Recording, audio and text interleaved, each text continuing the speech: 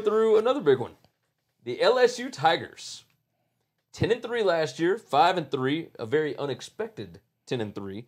Uh, returning starters, 7 back on offense, 8 back on defense. Experience, number 19 in the country, returning, number 1 in the conference. That is a far cry from last year when they were like dead last in the conference. Uh, Ed Orgeron, 25 and 9, two plus years at the helm. He hired Joe Brady, a 27 year old offensive assistant for the Saints, as their passing game coordinator. Offensive coordinator Steve Ensminger uh, impressed people last year, but their total offense has declined every year since 2015. They were number 39 in 2015, uh, number 59 in 16, number 17 uh, in 2017, number 54. But the total yardage actually declined, even though they moved up in the rankings. They still declined, and uh, they were number 69 in 2018. Four out of five offensive linemen back. Uh, their freshman running back John Emery could play quickly. That kid is unreal. Uh, quarterback Joe Burrow like rallied the team last year. That He- is a leader. yeah, he's he's just a leader. Uh, top 25 defense every year, starting back in 2010. Uh, they had the number 25 total defense last year. Ton of experience returning on D. I mean, defensive end Rashard Lawrence and strong safety Grant Delpit. Uh, they are back and they are legit, absolutely legit. Uh, just NFL talent, right? Freshman cornerback Derek Stingley, he could possibly start immediately, even over some of these other guys. He is that good. He's really good. Uh, they've got a rough non-conference, but this may be their best chance to catch Alabama, and that's really what it's all about with this That's team, it. right? Um, how is the RPO going to look with this team with Joe Brady and that that whole new passing thing? Um, is Joe Burrow the guy that started last year averaging about 50% completion rate, or is he the guy that after the Alabama game averaged like 67% completion rate? So I Like- can. So I'm gonna, I'm gonna speak to this team for a minute. Um, this is my guys. a lot of homerism here. I don't know how to do this, but I can answer why the the offense went down in production every year Yeah. for the last four years. It, is, it has been very clear. It has nothing to do with any talent anywhere or coaching anywhere, except for, and Orgeron called it out, and a lot of people gave him crap because he said he threw his players under the bus. No, he's just speaking truth to what he sees on the tape.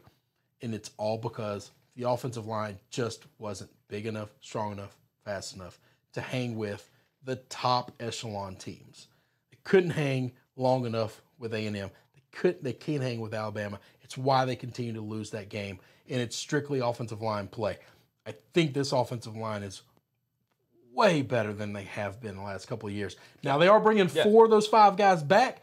They weren't big enough and strong enough last year to hold Alabama's defensive front, but I also think Alabama did lose some big NFL guys. Hopefully they just don't replace them with what they're going to be freshmen that I replace them with or sophomores, and maybe they're not as big or as strong as they will be one day. And and I think this team is crazy talented. Joe Burrow, Joe Burrow might be the best quarterback that I've seen at LSU in my lifetime because we just don't have a lot of good quarterbacks. This guy is an absolute leader. I don't know that there's any way to measure that other than just watch how the team responds to him. He's a coach's kid, and you can tell. Um, I think whatever they show him to do and whatever they do with this offense, have been working on instituting RPOs, whatever. He's going. He's going to learn it. You're not, you're not going to beat him between the ears. Yeah. you can beat him because of talent. Because there's there's 12 other quarterbacks in the conference that are going to be more talented than him Right. but but you're not going to beat him without working him, and you're not going to beat him with with with him making mistakes. And the talent around him, pretty amazing. Yeah. I mean, this is one of the most loaded LSU teams. I tried going into it thinking I'm not going to have them better than nine and three because I just think that's a realistic goal that I would be happy with when the season started. I'm looking at this thing. I want to write 12 and 0. Never going to do that. I'm just not. I, I know. I don't think that's realistic, but I think 10 and 2, 11 and 1 is. I've got them at ten and two.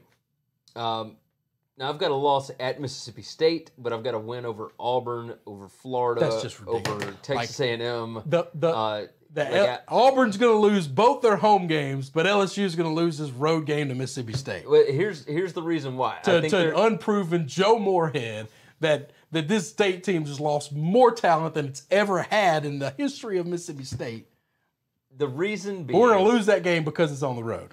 That No, makes I sense. think I, we talked before about how kids go up and down, etc. Uh, I think LSU is going to win at Texas. I, I've got that. You know, I've got them at sitting at six and zero before Mississippi State. The issue is they play Florida at home the week before Mississippi State, and I think that they are going to be so amped up for that Florida game because they have lost to Florida now. What two years in a row? yep. Um, or is it more than that? Is it three No, years? I don't know the three. I think it's two. Either way, they've lost to them the last two years, and this rivalry has gotten much more intense. oh no, it's a rivalry. It, There's it no is- doubt. it is a real thing. Ever since like the Hurricane game that had to be made up and everything, it it has really become a problem, and I I think they will be so amped up and so high for that game that it will be tough to come back the next week. Um, I think that Mississippi State loses at Tennessee the week before that LSU game, and I think they come back super high. So you've got a shifting there, right? So that's why I think that State could win. But would it surprise me if they beat State and lose to Auburn? No. Would it surprise me if they beat State and lose to Florida? No. Would it surprise me if they beat State and lose at Texas? What if they beat State and beat those other teams too? that that's totally reasonable. I could see them going eleven and one. Like I've got them losing at Alabama, but everything else is on the table. Like I, I've just got them at ten and two. I, I will tell you I'm you. not an Ed Orgeron like uh, believer as of yet, but after last year, like he's got me coming around. All right, so that's He's I- a completely different man than he used to be. Yeah, I was I was very afraid of this hire. Yeah. I was honest about that.